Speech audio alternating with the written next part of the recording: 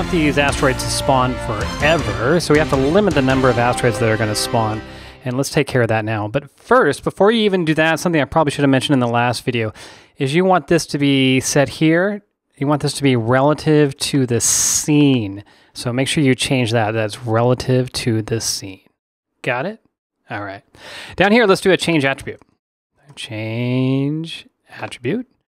And you probably guessed it. The attribute you're going to change is self dot asteroids spawned. Okay. Now we want to fill in that expression and make it self dot spawned plus one because if it hits if it's less than three, it's going to continue to spawn, and so every time it spawns, that starts the count from one to two to three, and then once it hits three, it's not going to continue this loop. The loop will stop, and it has enough. So I'm going to change this here. So I'm going to put this at self dot asteroids plus one, just like that. Perfect.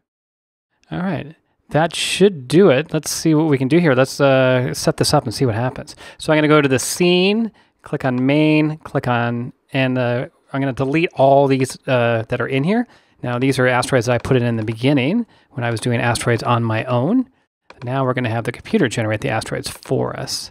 So now I'll go to actor and I'm putting game controller, just sort of stick it right there. And you can see it's visible right now. Uh, I'm going to go ahead and leave it visible for now, but later you'll want to change this to zero, right? Alpha to zero so it disappears. Otherwise it looks kind of lame. But let's just leave it there for now and let's hit uh, play and see what's happening. There we go. Look at that. We got three asteroids that showed up right there. Pretty neat. That did that automatically for me. So I'm going to go back now and make sure that this actor, this game controller actor, its alpha is zero there, as you can see right there.